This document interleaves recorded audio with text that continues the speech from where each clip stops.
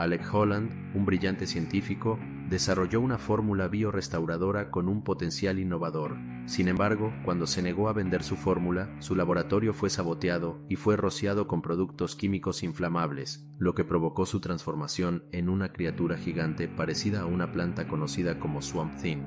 Swamp Thing está compuesto de materia vegetal consciente y se sustenta a través de la fotosíntesis y la descomposición de materia orgánica. Exhibe una fuerza sobrehumana, un control completo sobre la vida vegetal y puede comunicarse con la esencia de la tierra. Además, Swamp Thing puede manipular las plantas, convocar enredaderas e incluso manipular la flora microscópica dentro de sus enemigos. Puede proyectar su esencia a diferentes regiones y poseer otros cuerpos. Otras habilidades incluyen la biofisión, el intelecto mejorado, la proyección de ilusiones, la inmortalidad a través de la conexión con la vida vegetal, alteración de tamaño, regeneración y resurrección.